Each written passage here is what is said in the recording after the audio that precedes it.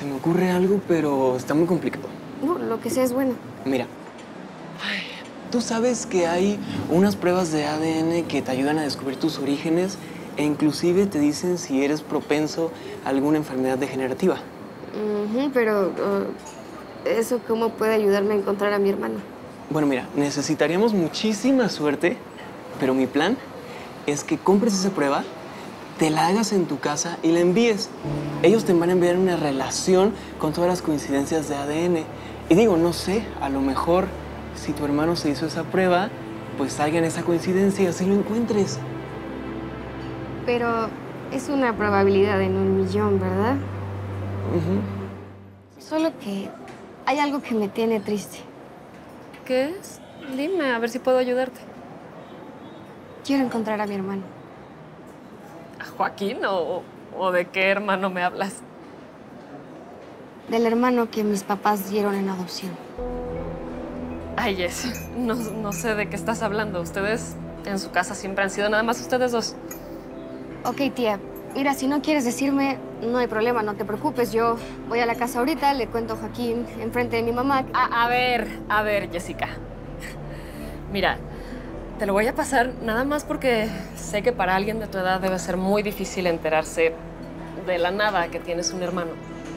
Pero en la vida se te ocurra volver a amenazarme. Mira que venir a chantajearme cuando te abrí las puertas de mi casa. Tía, no es mi intención, te lo juro. Solamente quiero saber la verdad.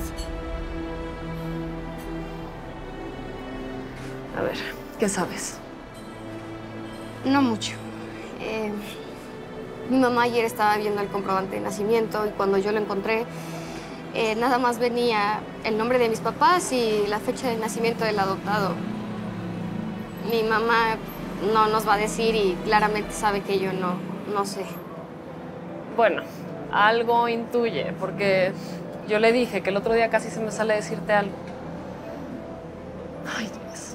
Es que, mi amor, por mucho que yo quiera ayudarte, yo solo sé lo que tu mamá me contó en su tiempo. Que iniciaron trámites de, legales para que en cuanto naciera el bebé lo mandaran con su nueva familia. No hay nada que se pueda hacer.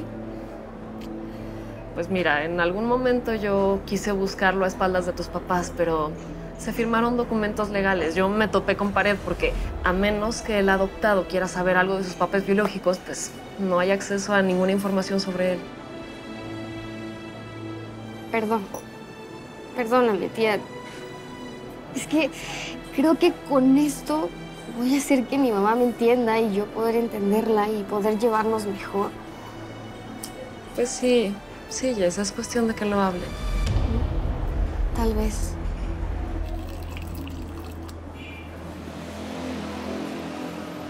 ¿Estás bien? ¿Te regañó tu tía? No, no, no, no, para nada. Es... ¿Necesitas algo? ¿Te pasó algo? Te puedo ayudar, ¿eh? Aquí estoy para lo que quieras. Gracias. Sí, si Pues, quieres sí. sentarte. ¿Qué pasó? Me acabo de enterar que tengo un hermano que mis papás dieron en adopción. ¿Qué? ¿Y ya les dijiste algo? No saben que yo sé. Y quiero encontrarlo, solo que no sé cómo. Pues lo primero que necesitamos es un nombre. Es que no tengo nada más que su fecha de nacimiento. Mira, déjame entregar esto y ahorita te ayudo.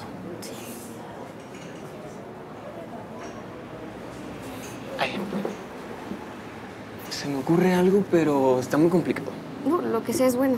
Mira, tú sabes que hay unas pruebas de ADN que te ayudan a descubrir tus orígenes e inclusive te dicen si eres propenso a alguna enfermedad degenerativa.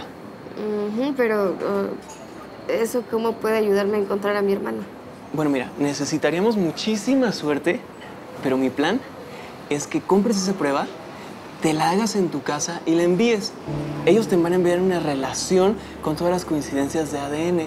Y digo, no sé, a lo mejor si tu hermano se hizo esa prueba, pues salga en esa coincidencia y así lo encuentres. Pero es una probabilidad en un millón, ¿verdad? Si no es que más.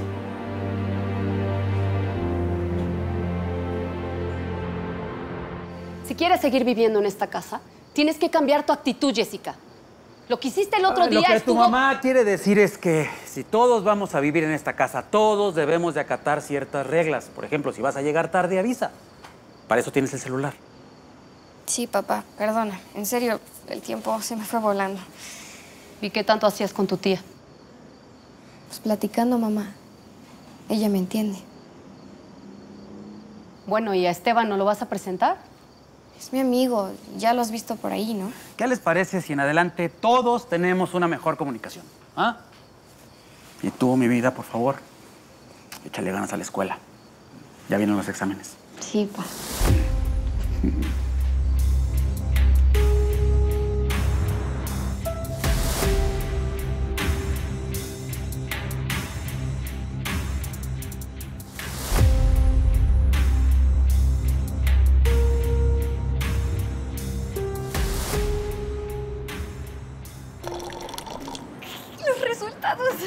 Ya están, ya están, ya están. A ver. Oye, recuerda que la posibilidad es una en un millón, ¿eh?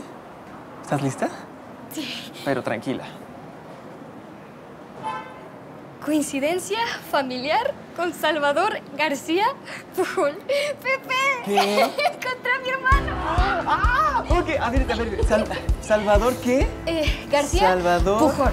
García Pujol. Pujol. Ay, pues mira, hay tres perfiles que coinciden con el nombre y con la edad. No, este. Pero este es igualito a tu papá. No, ¿no crees? Velo. ¿Segura que es este parque? Llevan varias veces que venimos y... nada. No, sí es. Desde que Pepe nos enseñó la foto, supe que era aquí. ¿Viste lo mismo que yo? Ay, espera, tengo un plan. ¿Estás bien? Sí. Bueno, creo que... Creo que me torcí un poco el tobillo. Perdón, pero neta, te apareciste de la nada. Sí, no. di- discúlpame, fue, fue mi culpa totalmente. Oye, pero ¿segura que, que estás bien? ¿Puedes caminar? ¿No, no quieres que te ayude? Sí, sería lindo. Iba en camino al dicho. eh, te invito a un café en agradecimiento, si no tienes problema y tienes tiempo. Pues sí. ¿Sí? No sé dónde está el café, pero tú dime, yo te llevo. Amigas del café más famoso de México, queremos invitarlos a que disfruten de todos nuestros capítulos completos en nuestro sitio oficial, como dice el dicho, .tv. donde además encontrarán contenido exclusivo. Aprovechando la invitación, ¿por qué no se suscriben a nuestro canal? Y comenten aquí abajo qué tal les pareció el episodio. Yo soy Bianca, Y yo soy Alex, y sigan disfrutando de... como dice el dicho.